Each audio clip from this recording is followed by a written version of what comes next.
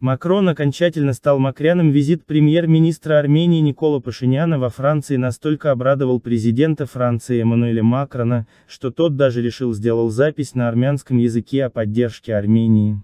Теперь Макрону можно смело сменить фамилию на Макрян. Вот до чего докатилась некогда великая держава. Макрон, видимо не в курсе того, что гладить по головке никого нельзя, чревато потерей руки.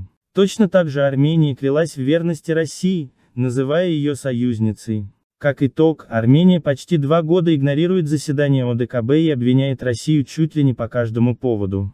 Рано или поздно, та же участь постигнет и Францию. Но и армянам не стоит обольщаться. Ведь Франция всячески потакает армянам не за красивые глазки. Цель Парижа – присутствие на Южном Кавказе, а Армения является лишь инструментом этой политики. Может в Ереване этого не понимают и считают, что Франция действительно хочет помочь своему вассалу. А может понимают и просто пытаются найти рычаг для трансформации отношений с Москвой. И если это случится, то политический имидж Франции получит очень серьезный ущерб.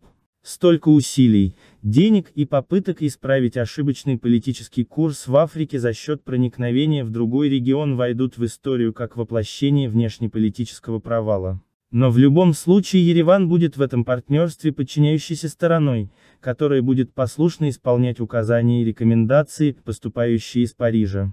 Ценой такого союза будет отсутствие гибкости во внешней политике. И это может обернуться серьезными потерями для Армении. Ведь интересы и цели Парижа могут разойтись с ведением в Ереване. Такой конфликт интересов приведет к серьезным вызовам для армянской безопасности и создаст риски для политиков. За любую помощь, которую окажет Армении Франция, придется расплачиваться. Сейчас Франция инвестирует, но придет и время расплаты. И Еревану придется платить. А взамен останутся лишь списанная французской техника и сентиментальные, но бесполезные жесты, наподобие твитов Макрона.